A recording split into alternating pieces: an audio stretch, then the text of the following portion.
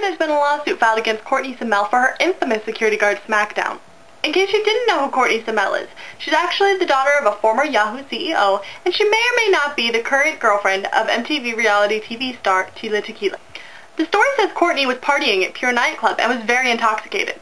Way to go, Courtenay, you just broke all the spoiled heiress molds. So apparently she gets into an argument with one of the security guards, and this argument gets pretty heated.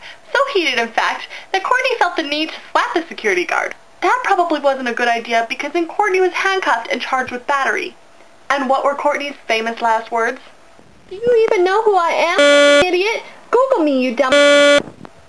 Let's hear that one more time. Do you even know who I am, idiot? Google me, you dumb... I think the next time I get into trouble with security or law enforcement, I'm gonna try that line and see where it gets me. Do you even know who I am, fucking idiot? Google me, you dumb...